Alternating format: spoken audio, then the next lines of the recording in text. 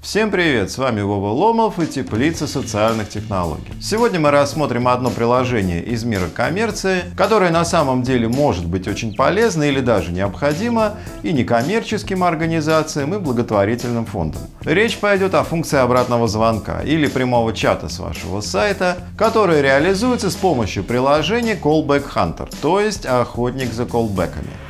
Что такое функция обратного звонка или прямого чата? Это вот такой виджет, иногда назойливый, в углу сайта, который позволяет посетителям сайта связаться с вами в реальном времени. Тут есть несколько каналов связи. Есть чат, возможность связаться ВКонтакте, в Телеграм, можно написать на e-mail или, собственно, перезвонить. Виджет можно скрыть и сделать его менее назойливым. Иногда он будет вновь разворачиваться и выдавать какие-то напоминания. Культура использования чата с сайта в российском сегменте пока не развита, но сама по себе вещь удобная и со временем, особенно с развитием чат-ботов, все больше клиентов будут писать или спрашивать, а не искать что-то самостоятельно на сайте. Регистрация тут, как вы видите, предельно простая.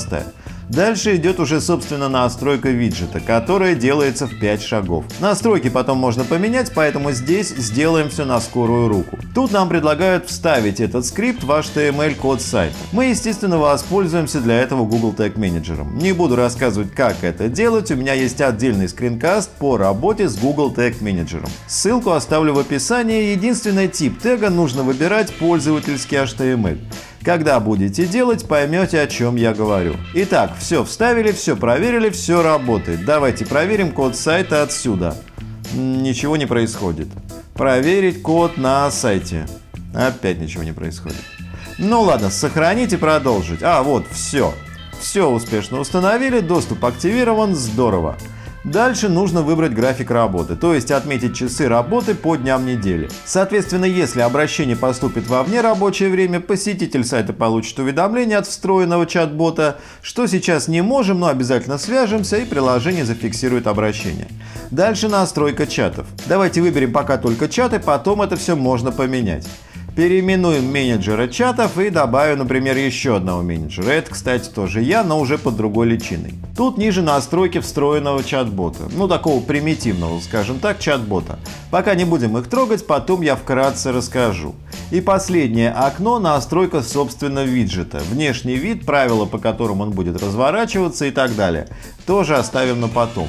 И, собственно, все. Виджет установлен и готов к работе. То есть на сайте у нас появилось вот такое кое-что которое можно развернуть и начать переписываться с менеджером, то есть с вами. Например, используя прямой чат.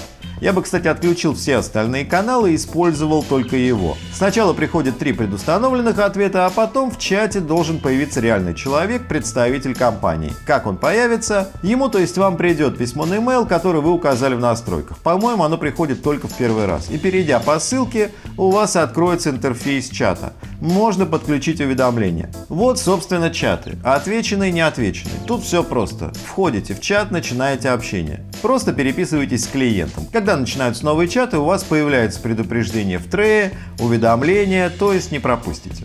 Я сказал, что здесь есть несколько каналов связи, но самые действенные это email и прямой чат. Потому что если, например, клиент захочет общаться в Telegram, то сначала он должен запустить, собственно, Telegram, то есть могут понадобиться какие-то дополнительные действия, а это всегда плохо.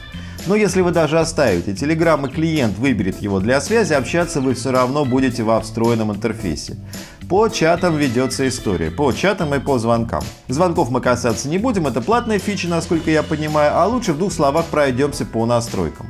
Здесь переходим в мои сайты, редактировать и попадаем в настройки. Ну то есть те первые 5 шагов. С основным все понятно, код виджета тоже мы его уже установили, с отделом продаж тоже все ясно. Здесь в настройке чатов можно подключать и отключать всевозможные каналы связи и настроить чат-бот. Поменять текстовую часть, время задержки ответа или удалить какой-то ответ. Можно добавить свой ответ на вопрос клиента, Дальше индивидуальные настройки. Это настройки внешнего вида и текстовой части. Интересная фича настройки механизма ловли. То есть тут, по заверениям разработчиков, работает интеллектуальная система, которая отслеживает поведение посетителя и когда он максимально вовлечен или наоборот хочет покинуть сайт, она выкидывает ловца. То есть вот такой виджет в центр экрана с предложением связаться с вами. Ну вот собственно здесь можно настроить поведение этого ловца, точнее подстроить. У нас уже не остается времени, чтобы рассказать все подробно, но тут все на русском, в принципе, понятно. А если непонятно, пишите в комментариях, может сделаю еще один скринкаст. Вот такое приложение. Подключается просто, работает безотказно. По уверениям разработчиков, бесплатный тариф повышает конверсию сайта на 30%, платный на 125%. Нужно ли это лично вам, смотрите сами. Мне кажется, вещь полезная. Все любите друг друга, отлавливайте колбеки правильно и легко. Напоминаю свою просьбу. Если вдруг в вашей жизни что-то поменялось в лучшую сторону после просмотра наших скринкастов, пишите в комментариях. Подписывайтесь на наш канал, ставьте лайки, расшаривайте видео.